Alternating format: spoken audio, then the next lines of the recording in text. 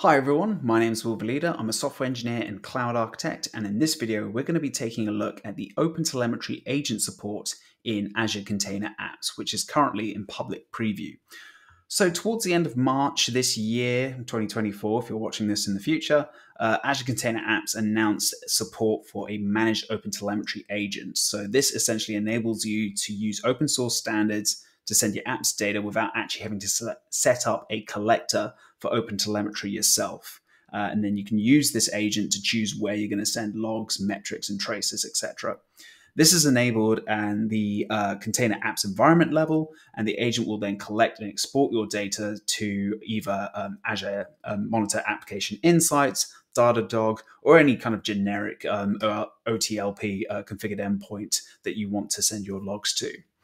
Um, so, for those of you that uh, don't know what OpenTelemetry is, OpenTelemetry is just a collection of APIs, SDKs, and tools uh, that you can use to instrument, generate, collect, and export telemetry data. So, if you're not too familiar with OpenTelemetry, I will um, add this link in the uh, description of this video below.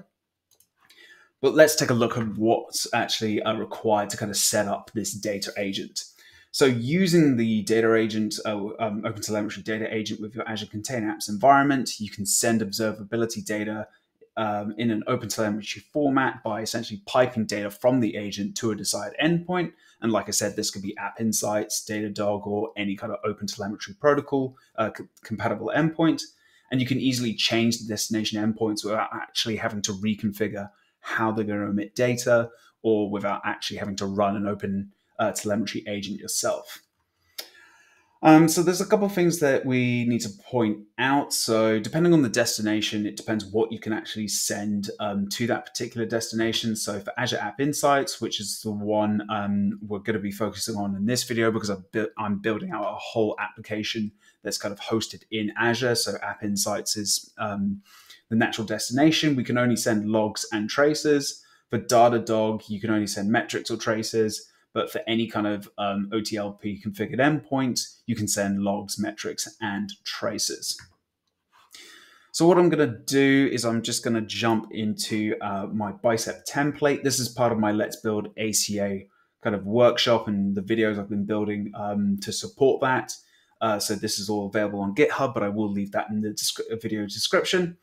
So to configure this, um, what I've done is I've set up an App Insights configuration and set it uh, to the my App Insights connection string here. This is all within my uh, container app environment. So if I look at the Bicep re, uh, visualizer, I can see that I'm injecting my App Insights and Log Analytics workspace into this environment.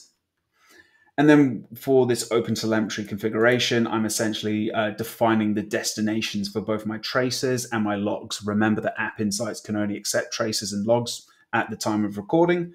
Uh, so I'm just setting that uh, destinations to App Insights.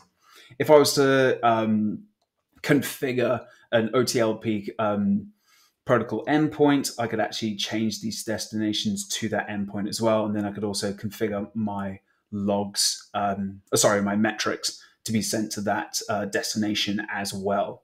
So that's pretty handy. If I take a look at the APIs or look at the container apps themselves, there's nothing really fancy uh, that I'm doing here for that. My application insights connection string has already been configured for the particular container. And then also the front end, um, that's also been configured as well for um, my front end container app. So now I'm just going to go back um, into one thing I do want to mention though.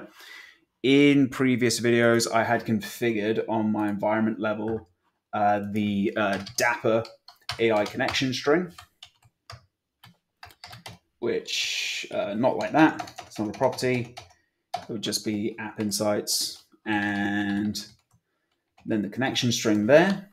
However, if you try to do that, one thing that I found out, um, if I just go into GitHub Action Workflow that failed, scroll down here, it actually failed because it was an invalid um, per, um, invalid template.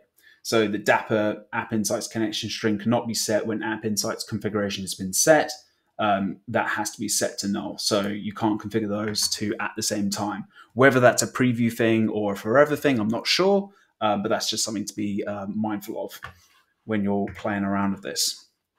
If I jump into my application code in the API, uh, it's very similar to how you would configure OpenTelemetry for your ASP.NET Core applications anyway. If I look at my CS proj file, I just get a little bit more real estate there. Here, all I'm doing is I'm using uh, some instrumentation packages uh, for ASP.NET Core, um, HTTP in the runtime, and then I'm also using Azure Monitor, OpenTelemetry, ASP.NET Core. So if I go into my program CS file, there I'm adding uh, OpenTelemetry as my logging service, including the scopes and formatting it, and then also adding OpenTelemetry as my service with that's going to use Azure Monitor but then also send some tra- tracing as well. And if I go into basically one of my services, I'm injecting the logger here, so we should be able to see returning from the API these log messages of getting weight and retrieving weight ID. And this is very similar to how I'm doing it in my web application. Again, it's pretty much the same way that I've set it up in my program um, file. And if I go, I think it's my edit one. So we're also doing some uh, logging here as well, which is being um, which should be sent to application insights. So what I've done is I have just go back there. I've deployed this to Azure. And if I actually hit that endpoint now and just make some requests, I'm just doing this so it can generate some logs, some traces within Application Insights. So I'll go back into Azure, go back into that resource group and into Application Insights. If I look at my application map, I should see, I made some requests before I went live. So I made about 17 calls. So if I actually check this out, investigate performance. I might want to, so I can see these endpoints being hit, but this is not what I want. So if I go into transaction search,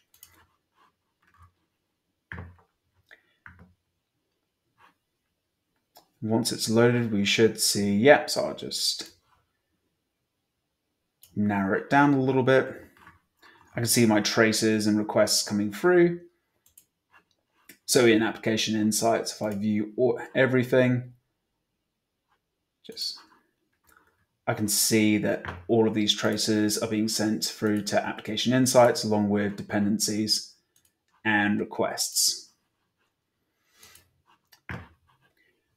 Cool. So just a couple of things to kind of mention about um, the public preview. If I scroll right down, uh, your build for the underlying compute of the agent. Um, so that's um, really covering the, the, actual cost of the agent itself. Um, this is currently in preview. Uh, so system data such as system logs of or contain app standard metrics won't be sent or they're not available to be sent to your open telemetry agent. Uh, the application insights endpoint doesn't accept metrics yet um, or if it will once uh, the public preview is over. I'm not sure, but there we couldn't uh, get any metrics out from all of our requests uh, from OpenTelemetry, and Datadog endpoint doesn't accept logs. So as you can see, it was fairly straightforward to set up something very basic. All I really did, let me get rid of that.